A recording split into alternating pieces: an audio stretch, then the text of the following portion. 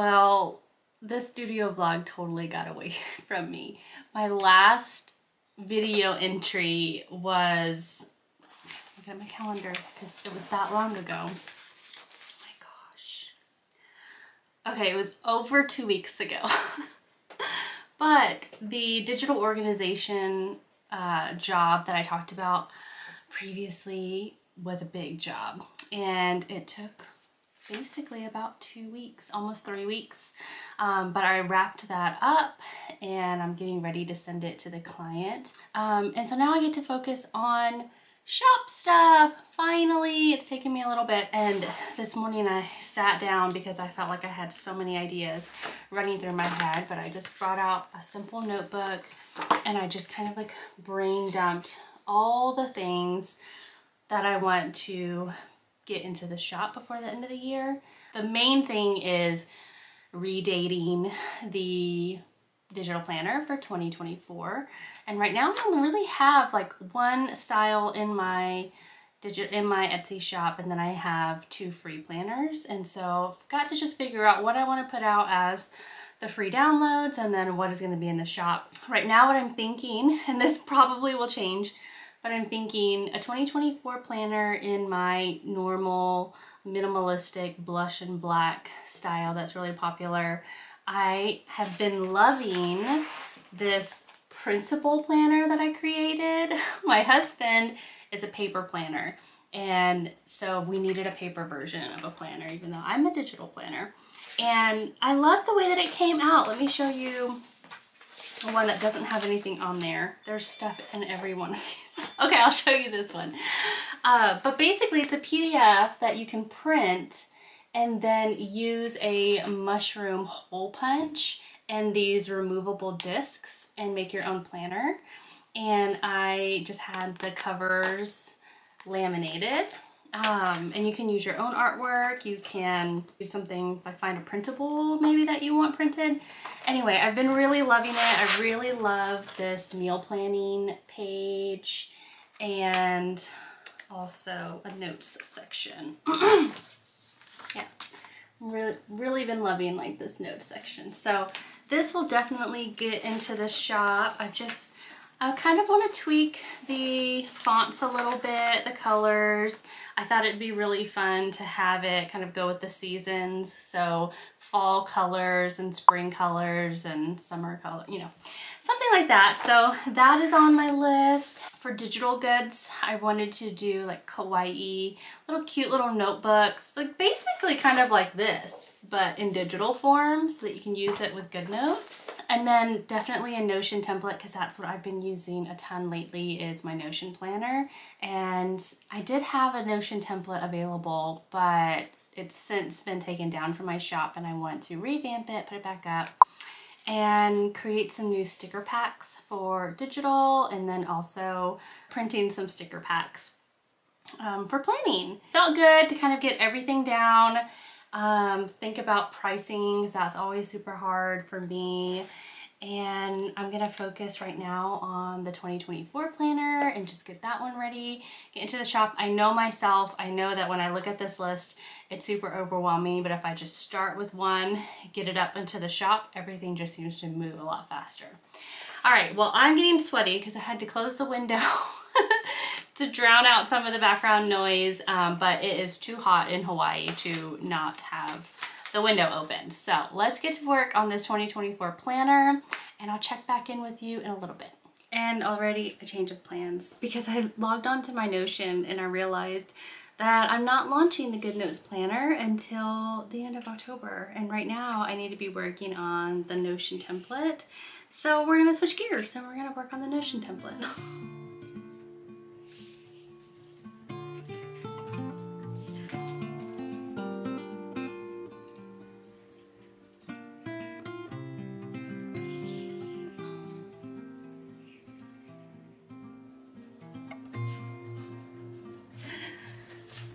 All right, I got a couple things because I wanted to start making some physical products. I usually only do digital ones, but I've been crafting and learning how to make sticker sheets and bookmarks and notepads. So I got a couple more supplies that I needed. Um, so the notepads that I've been making are like this. And even though I have my Cricut, I actually didn't prefer using my Cricut. I really liked using or just a ruler and an X-Acto knife, but the ruler I've been using was really obnoxious. And so I just got like this little metal ruler and then I got like a brayer tool for my Cricut mat um, when doing like the sticker sheets and stuff. Um, I'm trying this matte paper, uh, sticker sheet paper. And what else did I get? Oh, I watched a lot of YouTube videos on how to make die cut stickers waterproof and a lot of people recommended putting clear vinyl over the sticker sheet and so I picked up some clear vinyl to try that whole process out. The other thing that I was researching was um, eco-friendly packaging and I found this one where it's compostable mailers. And so oh these are way tinier than I thought they were but still super cute. I think I could fit um, my bookmarks in here. Let me see. Okay, so here's some of the bookmarks that I made. Okay, I can't fit, oh no, I can. I mean, obviously these would go inside of a protective sleeve, but I think that they would fit, oh, they fit perfectly in these little pink mailers. And it's totally compostable, so yay. I'm super happy with these. Okay, so I got those what I ordered.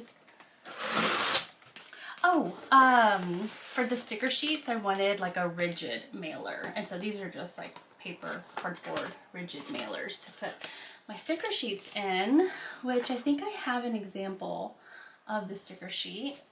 Okay, so I'm still kind of playing around with this whole thing, um, but these are my sticker sheets.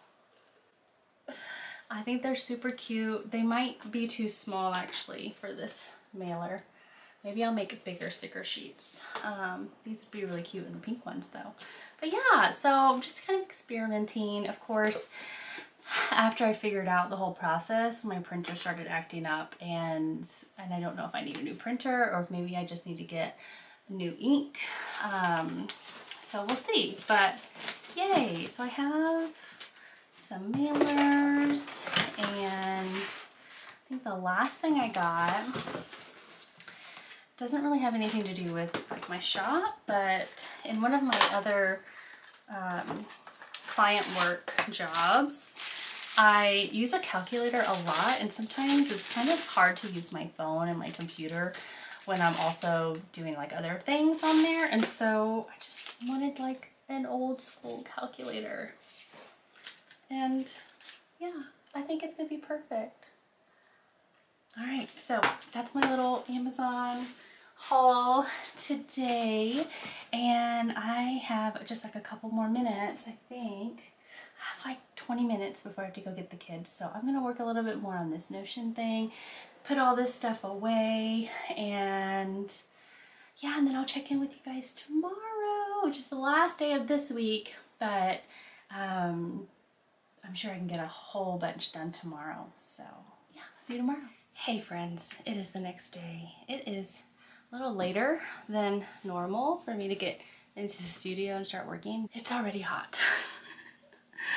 One thing about living here in Hawaii is there's no air conditioning and so we have the windows open all day and when there's no breeze gets really hot. I don't know if you can see it. I'll try to see if I can show you Mauna Kea which is right behind me. Let's see together. All right You can kind of see this little mound. That is Mauna Kea, which is a volcano here on the Big Island. And I'm so lucky I get to see this every day looking out my window.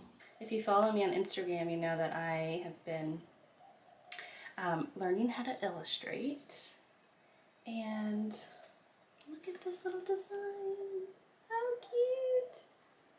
I love it. It's been so fun to kind of just experiment and see where it takes me. It just makes me smile. It's so pretty. Oh, here we go.